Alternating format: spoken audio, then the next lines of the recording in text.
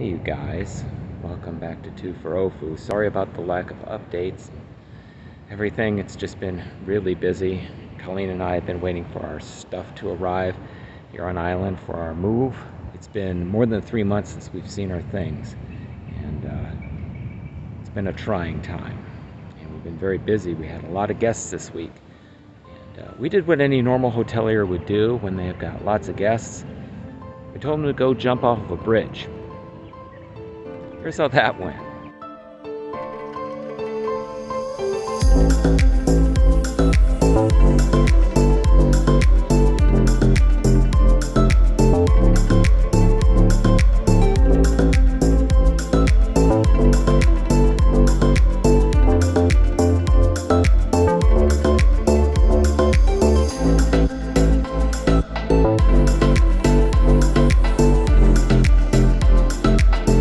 you